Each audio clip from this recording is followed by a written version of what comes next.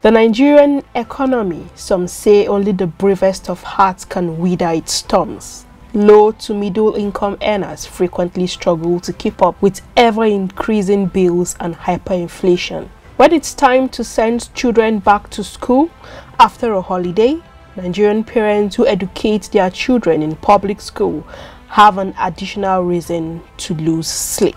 No, we are not referring to just the school fees, but the additional hidden cost weaved into the fabric of the fees so expertly that many parents insist that it amounts to extortion. The question is, who is responsible for this? The school or the government?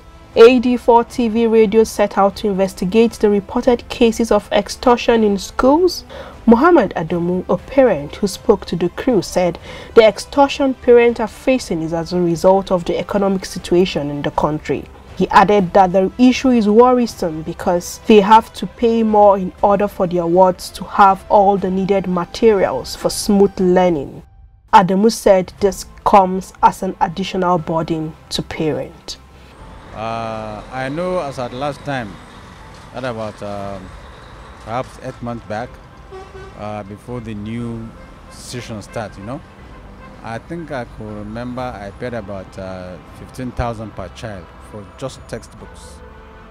But now I was asked to pay about 10,000 plus. So this is an increase. Uh, I don't know, uh, maybe it has to do with the rising cost of materials in our country now.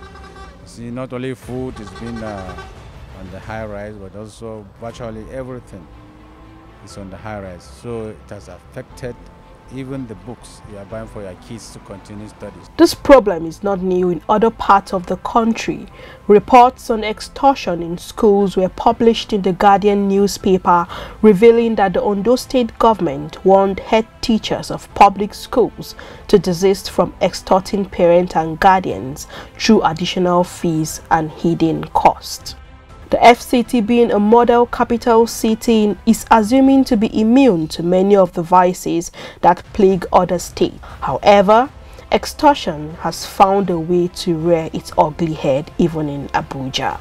The PTA chairman of Federal Government Boys College, Apo, Mr. Oke Odemba, said the issue is of great concern to parents. The schools involved are blaming rising operational costs and inflation, which have affected the prices of commodities and instructional materials. He added that the federal government should find creative ways to make education affordable. The challenge I have, what, why would federal government wants to put school fees and books together and force you to go and pay it under TSA? If I have a son in JS 2 and I have one in JS 3 and they are using the same book. This one was promoted to SS1. Why can't my son in SS, JS 2 use the one, the book, the one in SS3, uh, JS3 used? It will help me and reduce cost for me. But federal government, through the Ministry of Education, made it now that we pay books. Pay for books. For books through TSA. That means it's a must. So what, what it means is that the one my son that's promoted to SS1 used, we've just useless because I'm coming up with new ones.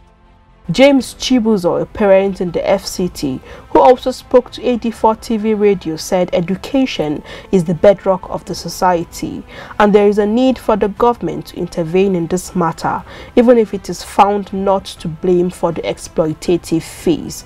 He believes that education is no longer affordable to the ordinary Nigerian parent and the government needs to take swift action through better policies. Uh, education is uh, the responsibility of the government to make education more affordable to its citizens. So my plea to the government is that uh, they should take education like the basic rock of the country.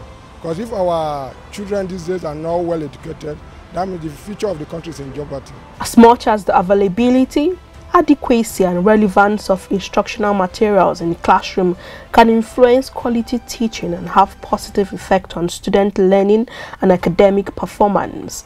Prices of teaching and aid items should be minimal so that parents can be encouraged to enroll their wards in schools.